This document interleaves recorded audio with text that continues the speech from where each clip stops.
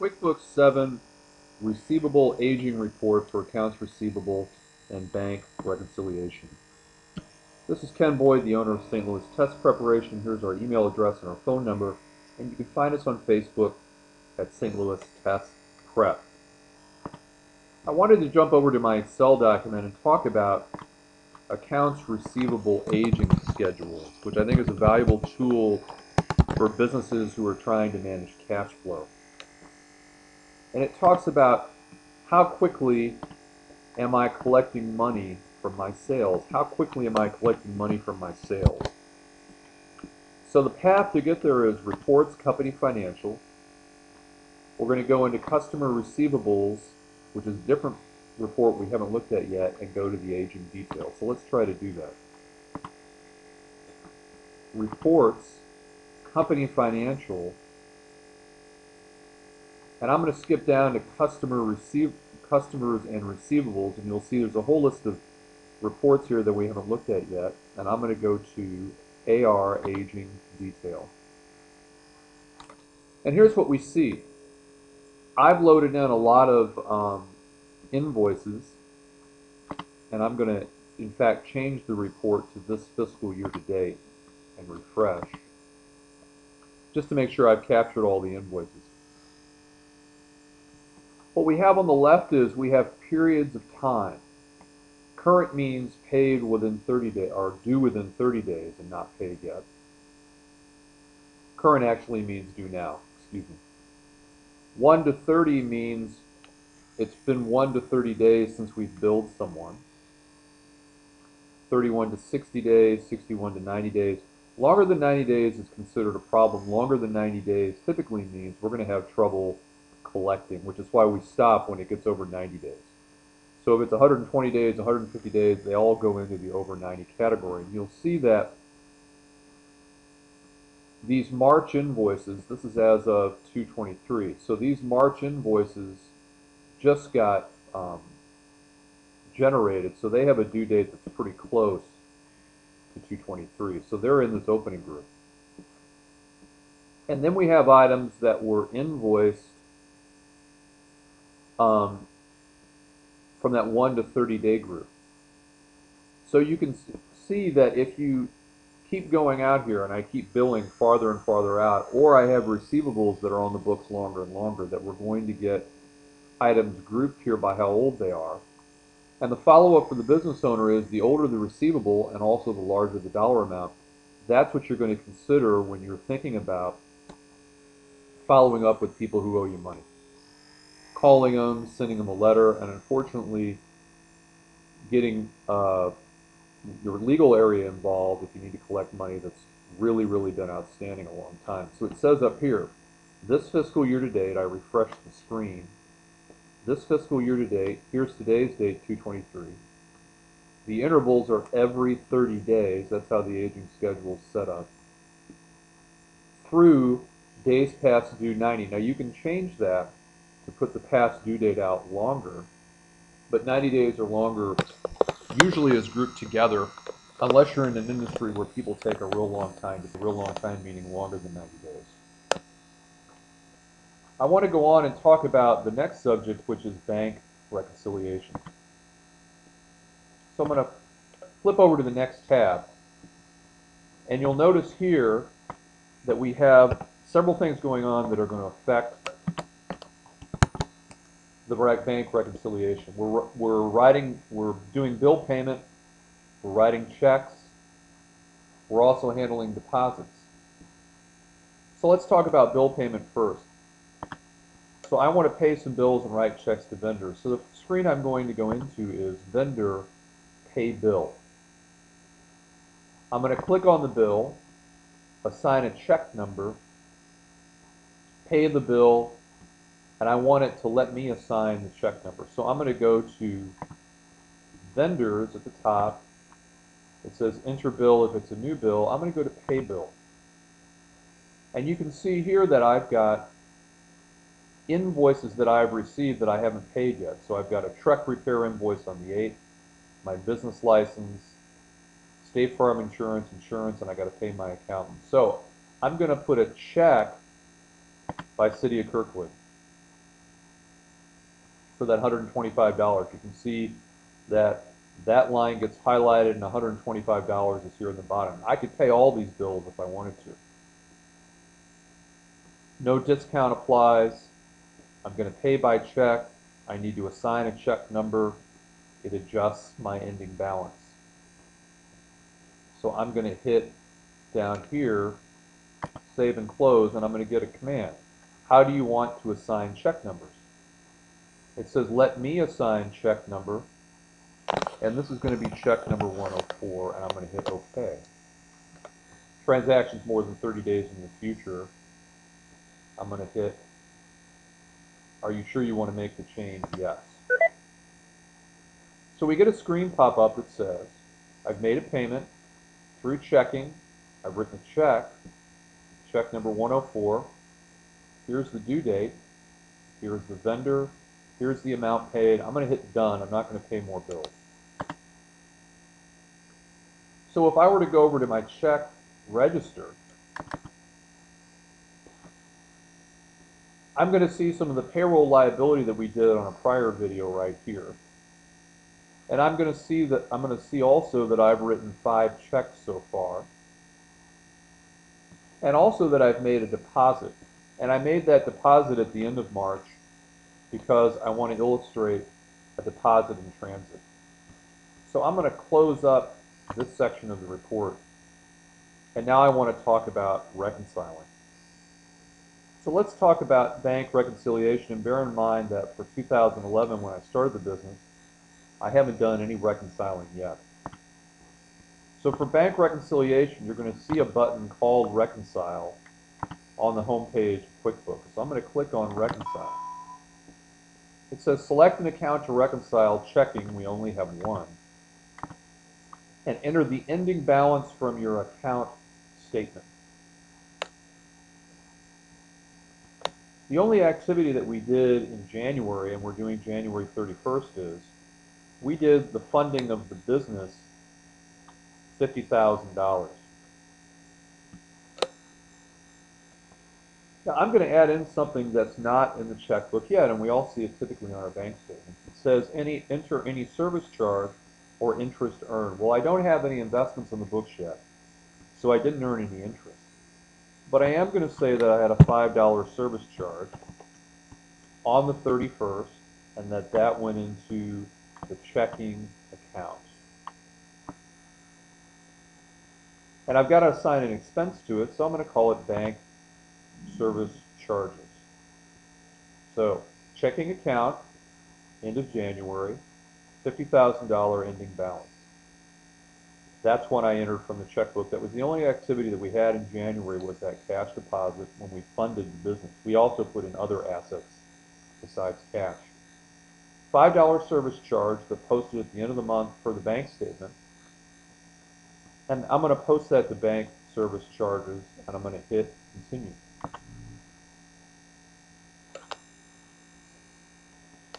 QuickBooks does a really nice job of giving you tools to do your reconciliation because what you've got on the left here is for the period 131 checks and payments. So here's all the checks and any direct debits that have gone through. Here are deposits and credits that have happened. And you can see if we look at the dates that there's only one transaction that's happened for January in the month of January and it was that $50,000 deposit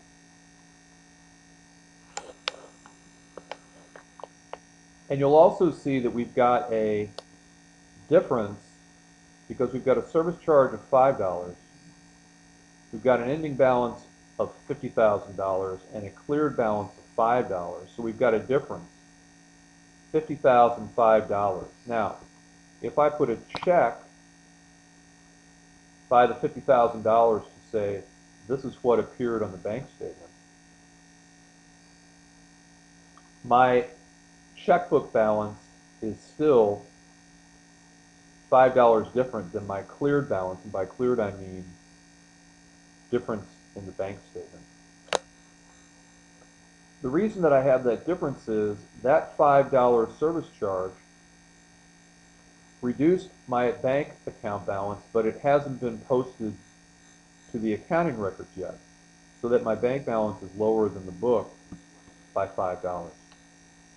So let's try to figure out a way to fix that. I wonder if I can go into here and type in something. You'll see that when I try to access, other than checking off things, I can't make any, I can't add any deposits, and I can't add any checks or payments to this page. So what if I hit Go To? Go To only works if I click on one of these transactions and I want to go investigate it. What if I hit Modify? To select an account to reconcile, enter the ending balance, it basically takes me back to where I was. So that's not working. Well, what if I hit this button and it just takes me out of it? Let's go back in. It says that I still haven't reconciled yet, but what I can do is go into my check register. And what I'm going to see is that if I go all the way up to the top and I look at the end of January, I don't have that $5 bank service charge posting yet. So I wonder what would happen if I got out of here and I went into company, make journal entry. Okay. I'm going to date the journal entry as of the end of January. And I'm going to go to my bank service charge expense account. I'm going to debit it $5 and I'm going to say bank statement service charge January 2011 and in fact I'm going to copy that explanation down to the next line. You should have a memo entry on every single debit and credit. The account that I'm going to post it to is checking. 131, bank service charge 5, checking account reduced by 5. I'm going to hit save and close. Let's go back to my check register. I'm going to go up to January 31st, and now I see that $5 as a debit, reducing the bank account. What if I try to reconcile now? I'm going to go to reconciliations, reconcile. 131, there's my uh, ending balance, which should now be 49,995 for January because of that $5. Let's hit continue and see what happens. What you see now is, is that that $5 is there on this line. And we see that we've got our same deposits, our same checks. But what if I check on that? It's out of balance. I've got a difference. I wonder why. Well, let's get out of this transaction. What if I hit reconcile and I put that $50,000 ending balance that I originally had? And I hit continue. Now I'm off by $10 because I have the $5 payment sitting there too. Here's another possible solution. I reduce the ending balance on my bank, on my book, my checkbook, to account for the service charge, the 49995 and I see that because I checked this deposit, that I now have the $50,000 cash deposit check that's clearing my checkbook. I have not checked off the $5 service charge. It says the $5 service charge here instead. If I hit save and close, let's see what happens.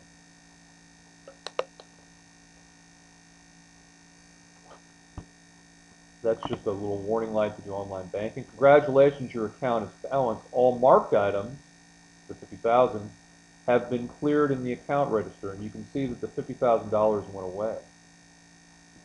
Select the type of reconciliation report you'd like to see. I'm going to hit both, and I'm going to hit display. Hit OK. And it says for January 31st, beginning balance zero, that's when I started my business. Clear transactions checks and payments, there's that $5 service charge. There's the $50,000 depart, deposit. There's my ending balance, which now has a book balance matching the bank balance. There's the $5 service charge. There's the ending balance, 49,990. Beginning balance for the next month. It says beginning balance because we've still got this transaction hanging around there that we haven't checked off, which is actually an error now. So I'm going to close this out. Finally, I went back to the check register and look what happened. The bank reconciliation automatically posted that $5. I didn't need to put in gener this general journal entry, this manual journal entry at all. In fact, I double counted it. So when you reconcile and you click on the statement that you had service charges posting, when the account is reconciled, QuickBooks automatically posts that service charge and checks it as being a cleared item. So I didn't even need this journal entry. I wonder how I can get rid of it. Let's go back to company, make journal entries, hit OK. I'm going to go back to the previous one. There's my entry. Well, why don't I just make an entry to undo it? Why don't I increase checking $5 and why don't I hit bank service charge by going to the expense category and credit that. And I'm going to put reverse manual entry January 2011 bank service charge of $5. I'm going to put the same entry below and I'm going to hit save and close. Do we want, we've changed the transaction, we changed the journal entry. Do you want to record the transaction? Let's look at it one more time. Bank service charge, debit, credit, checking, debit, credit, I'm going to yes. Now if I go into my check register, and I go back up to January, I'm going to see that I've reversed out the impact of manually entering that service charge. I didn't need to do it because QuickBooks automatically posted it and marked it as clear.